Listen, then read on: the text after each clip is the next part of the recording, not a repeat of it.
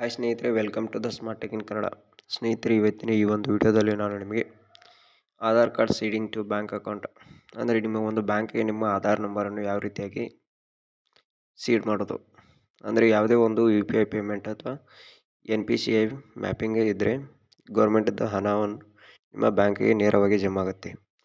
ಈ ರೀತಿಯಾಗಿ ನಿಮ್ಮ ಹಣ ಜಮೆ ಆಗಬೇಕಾದ್ರೆ ನೀವು ಮೊದಲು ನೀವು ನಿಮ್ಮ ಆಧಾರ್ ಕಾರ್ಡನ್ನು ಸೀಡಿಂಗ್ ಮಾಡ್ಕೋಬೇಕಾಗತ್ತೆ. ಆಧಾರ್ ಕಾರ್ಡನ್ನು ನಿಮ್ಮ ಮೊಬೈಲ್ನಲ್ಲಿ ಅಥವಾ ಲ್ಯಾಪ್ಟಾಪ್ ಯಾವುದೇ ಒಂದು ಯೂಸ್ ಮಾಡಿಕೊಂಡು ನಿಮ್ಮ ಮನೆಯಲ್ಲಿ ನೀವು ನಿಮ್ಮ ಆಧಾರ್ ಸೀಡಿಂಗನ್ನು ಮಾಡ್ಕೋಬೋದು. ಅದನ್ನು ಯಾವ ರೀತಿ ಅಂತ ಈ ವಿಡಿಯೋದಲ್ಲಿ ಹೇಳ್ತಾ ಇದ್ದೀನಿ. ಬನ್ನಿ ಲೆಟ್ ಸ್ಟಾರ್ಟ್ ದ ವಿಡಿಯೋ ಸ್ನೇಹಿತರೆ, ಮೊದಲನೇದಾಗಿ ನಿಮ್ಮ ಮೊಬೈಲಲ್ಲಿ ಕ್ರೋಮ್ ಅಥವಾ ಯಾವ್ದಾದ್ರು ಒಂದು ನೆಟ್ ಬ್ರೌಸರನ್ನು ಓಪನ್ ಮಾಡ್ಕೋಬೇಕಾಗತ್ತೆ. ಓಪನ್ ಮಾಡ್ಕೊಂಡು ಇಲ್ಲಿ ಎನ್ ಪಿ ಸಿ ಐ ಅಂತ ಸರ್ಚ್ ಮಾಡ್ಕೊಳ್ಳಿ. N P C I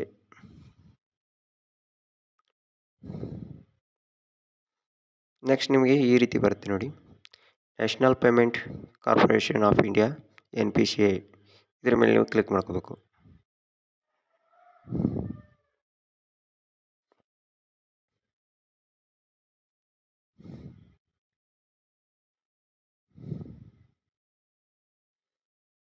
ಇಲ್ಲಿ ನೀವು ನೋಡ್ಬೋದು ಎನ್ ಪಿ ಸಿ ಐ ಈ ರೀತಿ ಬರುತ್ತೆ.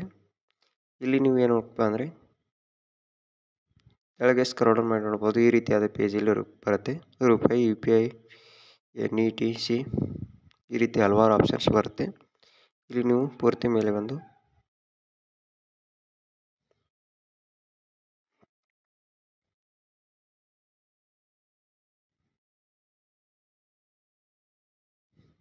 ಇಲ್ಲಿ ನಿಮಗೆ ಕೆಲವೊಂದಿಷ್ಟು ಆಪ್ಷನ್ಸ್ಗಳಿವೆ ಇಲ್ಲಿ ನೋಡ್ಬೋದು ನೀವು ಪ್ರಾಡಕ್ಟು ಕನ್ಸ್ಯೂಮರು ಮೀಡಿಯಾ ಅತ್ತೇನಿದೆಲ್ಲ ಇಲ್ಲಿ ನೀವು ಕನ್ಸ್ಯೂಮರ್ ಏನಿದೆ ನೋಡಿ, ಇದ್ರ ಮೇಲೆ ಸೆಲೆಕ್ಟ್ ಮಾಡ್ಕೋಬೇಕಾಗತ್ತೆ. ಕನ್ಸ್ಯೂಮರ್ ಮೇಲೆ ನೀವು ಸೆಲೆಕ್ಟ್ ಮಾಡ್ಕೊಳ್ಳಿ. ನೆಕ್ಸ್ಟ್ ನಿಮಗೆ U P I complete Aadhaar product A T M locator ಈ ರೀತಿ ಆಪ್ಷನ್ಸ್ ಬರುತ್ತೆ. ಇಲ್ಲಿ Bharat Aadhaar seeding enabler base ಹತ್ತೇನಿದೆ ಇದ್ರ ಮೇಲೆ ಕ್ಲಿಕ್ ಮಾಡ್ಕೋಬೇಕು.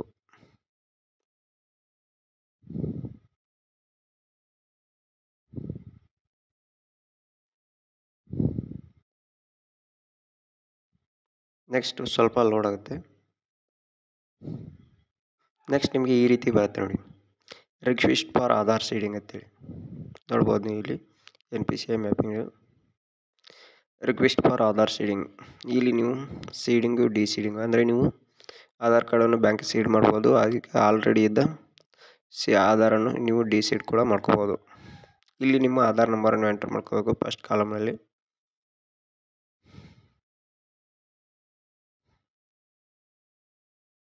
ನೆಕ್ಸ್ಟ್ ನಿಮ್ಮ ಬ್ಯಾಂಕನ್ನು ಸೆಲೆಕ್ಟ್ ಮಾಡ್ಕೋಬೇಕು. ನಾನೀಗ ಇಲ್ಲಿ ಬರೋಡಾ ಬ್ಯಾಂಕನ್ನು ಸೆಲೆಕ್ಟ್ ಮಾಡ್ತಾ ಇದ್ದೀನಿ. ನೆಕ್ಸ್ಟ್ ಈ ಸೈಡ್ ನೋಡ್ಬೋದು ನೀವು.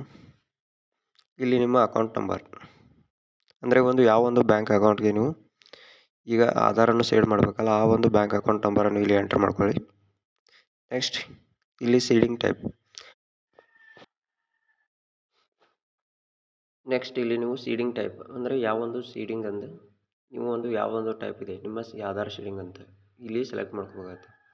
ಅದು ಏನಪ್ಪ ಅಂದರೆ ನೀವು ಸೀಡಿಂಗ್ ಟೈಪ್ ಇಲ್ಲಿ ನೋಡ್ಬೋದು. ಪ್ರೆಸ್ ಸೀಡಿಂಗ್ ಅಂದರೆ ನೀವು ಹೊಸ ಒಂದು ಸೀಡಿಂಗ್ ಮಾಡ್ತಾ ಇದ್ದರೆ ಪ್ರೆಸ್ ಸೀಡಿಂಗ್ ಬರುತ್ತೆ.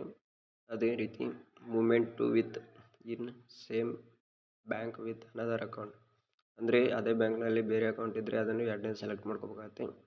ಮತ್ತು movement from one bank to other bank ಅಂದರೆ ಒಂದು ಬ್ಯಾಂಕ್ನಿಂದ ಬೇರೆ ಬ್ಯಾಂಕಿಗೆ ಸೀಡ್ ಮಾಡಬೇಕಾದ್ರೆ ನೀವು ಥರ್ಡ್ ಆಪ್ಷನ್ನು ಸೆಲೆಕ್ಟ್ ಮಾಡ್ಕೋಬೇಕು. ನಾನು ಈಗ ಫಸ್ಟ್ ಆಪ್ಷನ್ನು ಸೆಲೆಕ್ಟ್ ಮಾಡಿದ್ದೀನಿ. ಅಂದರೆ ಪ್ರೆಸ್ ಸೆಡಿಂಗ್ ಇದ್ದುದರಿಂದ. ಇದನ್ನು ಸೆಲೆಕ್ಟ್ ಮಾಡಿ ಇಲ್ಲಿ ಒಂದು ಅಕೌಂಟ್ ನಂಬರನ್ನು ಕನ್ಫರ್ಮೇಷನ್ ಕೊಡಬೇಕಾಗತ್ತೆ. ಆಲ್ರೆಡಿ ನೀವು ಇಲ್ಲಿನ ಕೊಟ್ಟಿರಲ್ಲ, ಈ ಒಂದು ಅಕೌಂಟ್ ನಂಬರನ್ನು ಇಲ್ಲಿ ಕನ್ಫರ್ಮೇಷನ್ ಕೊಡಬೇಕು.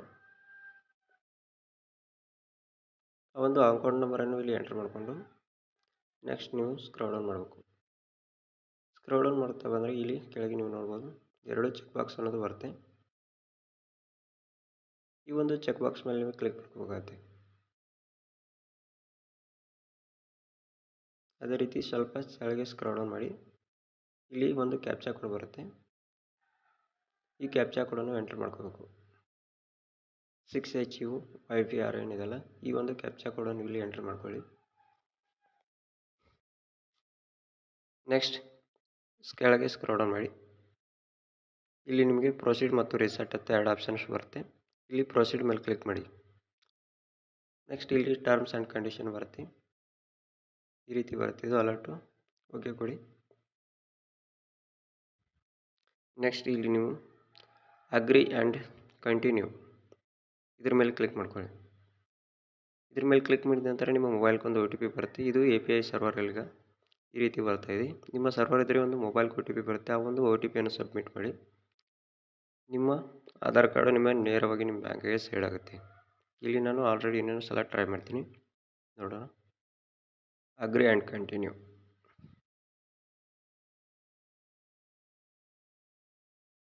ಇದು ಸರ್ವರ್ ಇಲ್ಲದ ಕಾರಣ ಈ ರೀತಿ ಬರ್ತಾ ಇದೆ. ನೀವು ಸರ್ವರ್ ಇದ್ದರೆ ನಿಮ್ಮ ಮೊಬೈಲ್ಗೊಂದು ನೇರವಾಗಿ ಒ ಟಿ ಪಿ ಬರುತ್ತೆ. ಅಂದರೆ ಆಧಾರ್ ನಂಬರ್ ಯಾವುದಕ್ಕೆ ಲಿಂಕ್ ಇರುತ್ತಲ್ಲ, ಅದಕ್ಕೆ ಒಂದು ಒ ಟಿ ಪಿ ಬರುತ್ತೆ. ಅದನ್ನು ಇಲ್ಲಿ ನೀವು ನೇರವಾಗಿ ಸಬ್ಮಿಟ್ ಮಾಡ್ಬೋದು. ಈಗ ನೀವು ಕೊಟ್ಟ ರಿಕ್ವೆಸ್ಟನ್ನು ನೀವು ಯಾವ ರೀತಿ ನೋಡೋದಂದರೆ ಮತ್ತೆ ನೀವು ಹೋಮ್ ಪೇಜ್ಗೆ ಬರಬೇಕಾಗುತ್ತೆ. N P C I home page ಇಲ್ಲಿ ಕನ್ಸ್ಯೂಮರ್ ಮೇಲೆ ಕ್ಲಿಕ್ ಮಾಡ್ಕೊಳ್ಳಿ. ಇಲ್ಲಿ ಬಾದರ್ ಭಾರತ್ ಆಧಾರ್ ಶೇಡಿಂಗ್ ಎನೇಬಲ್ಡರ್ ಏನಿದೆಯಲ್ಲ ಅದರ ಮೇಲೆ ಕ್ಲಿಕ್ ಮಾಡಿ. ಕ್ಲಿಕ್ ಮಾಡಿದ ನಂತರ ಇಲ್ಲಿ ನಿಮ್ಮ ಒಂದು ಇಲ್ಲಿ ಸೆಲೆಕ್ಟ್ ಮಾಡ್ಕೋಬೇಕಾಗತ್ತೆ ನೀವು. ಅಂದರೆ ರಿಕ್ವೆಸ್ಟ್ ಫಾರ್ ಆಧಾರ್ ಶೇಡಿಂಗ್ ಇದೆ ಮತ್ತು ಚೆಕ್ ಯುವರ್ ಅಂದರೆ ನಿಮ್ಮ ಆಧಾರ್ ಕಾರ್ಡನ್ನು ಸೀಡ್ ಆಗಿದೆ ಅಥವಾ ಇಲ್ಲ ಅನ್ನೋದು. ಅಂದರೆ ನೀವು ಸೆಲೆಕ್ಟ್ ಸೀಡ್ ಐ ಡಿ ಅದರಲ್ಲಿ ಸೀಡ್ ಮಾಡಿದ್ದೀರಾ ಡಿಸೀಡ್ ಮಾಡಿದ್ದೀರಾ? ಫ್ರೆಶ್ ಇದು ಯಾವುದೈತೆ ನೋಡಿ ಅದನ್ನು ಸೆಲೆಕ್ಟ್ ಮಾಡ್ಕೊಳ್ಳಿ.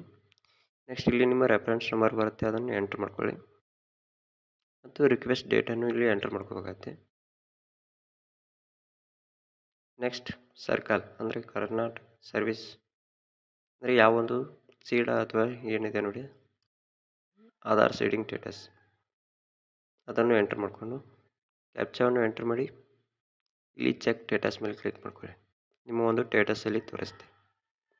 ಈ ರೀತಿಯಾಗಿ ನಿಮ್ಮ ಒಂದು, ಅಂದರೆ ನಿಮ್ಮ ಮ್ಯಾಪಿಂಗ್ ಮಾಡ್ಕೋದು ಸ್ಟೇಟಸ್ ಕೂಡ ನೋಡ್ಕೋಬೋದು ಇಲ್ಲಿ ಗೆಟ್ ಆಧಾರ್ ಮ್ಯಾಪ್ಡ್ ಸ್ಟೇಟಸ್ ಅಂದರೆ ಇಲ್ಲಿ ನಿಮ್ಮ ಆಧಾರ್ ಕಾರ್ಡು ಮತ್ತು ಕ್ಯಾಪ್ಚಾವನ್ನು ಎಂಟ್ರ್ ಮಾಡೋದರಿಂದ ನಿಮ್ಮ ಆಧಾರ್ ಕಾರ್ಡು ಯಾವ ರೀತಿ ಬ್ಯಾಂಕಿಗೆ ಮ್ಯಾಪ್ ಇದೆ ಅನ್ನೋದು ಇಲ್ಲಿ ಸ್ಟೇಟಸ್ ಕೂಡ ಬರುತ್ತೆ. ನೇರವಾಗಿ ಇಲ್ಲಿ ಕ್ಯಾಪ್ಚಾವನ್ನು ಎಂಟ್ರ್ ಮಾಡಿ ನೋಡ್ಕೋಬೋದು ನೆಕ್ಸ್ಟ್ ಇಲ್ಲಿ ನೋಡ್ಬೋದು ಗೆಟ್ ಆಧಾರ್ ಮ್ಯಾಪಿಂಗ್ ಹಿಸ್ಟ್ರಿ ಇದೇನಪ್ಪ ಅಂದರೆ ಇಲ್ಲಿ ನೀವು ಕೂಡ ನೀವು ನಿಮ್ಮ ಆಧಾರ್ ನಂಬರನ್ನು ಎಂಟರ್ ಮಾಡಿ ಕ್ಯಾಪ್ಚರ್ನ ಎಂಟರ್ ಮಾಡಿ ಸಬ್ಮಿಟ್ ಕೊಟ್ಟರೆ ನಿಮ್ಮ ಆಧಾರ್ ಕಾರ್ಡನ್ನು ಎಷ್ಟು ಸಲ ಯಾವ್ಯಾವ ಬ್ಯಾಂಕಿಗೆ ಮ್ಯಾಪಿಂಗ್ ಆಗಿದೆ ಅಂತ ಇಲ್ಲಿ ಒಂದು ಹಿಸ್ಟ್ರಿ ಥರ ಬರುತ್ತೆ. ನೋಡ್ಕೋಬೋದು ನೀವು.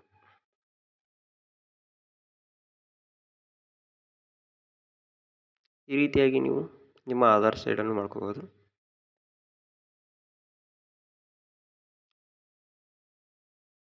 ನಾನು ಈಗ ಇಲ್ಲಿ ಒಂದು ಆಧಾರ್ ಮ್ಯಾಪಿಂಗ್ ಹಿಸ್ಟ್ರಿಯನ್ನು ನೋಡ್ಬೇಕಾದ್ರೆ ನಾನು ಒಂದು ಆಧಾರ್ ನಂಬರನ್ನು ಎಂಟ್ರ್ ಮಾಡ್ಕೊತಾ ಇದ್ದೀನಿ. ಆಧಾರ್ ನಂಬರ್ ಎಂಟ್ರ್ ಮಾಡಿಕೊಂಡು ನೋಡೋಣ ಯಾವ ರೀತಿ ಬರುತ್ತೆ ಅಂತ. ಇಲ್ಲಿ ಕ್ಯಾಪ್ಚಾವನ್ನು ಎಂಟ್ರ್ ಮಾಡಿಕೊಂಡು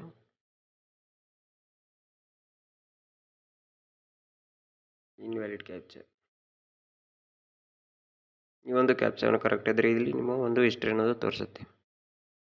ಈ ಒಂದು ವಿಡಿಯೋ ನಿಮಗೆ ಇಷ್ಟ ಆದರೆ ಒಂದು ಲೈಕ್ ಮಾಡಿ, ಹಾಗೆ ಇದೇ ರೀತಿ ಹೆಚ್ಚಿನ ವಿಡಿಯೋಗಾಗಿ ನಮ್ಮ ಚಾನಲ್ ಸಬ್ಸ್ಕ್ರೈಬ್ ಮಾಡಿ. Thanks for watching. See you the next video. Bye. Thank you.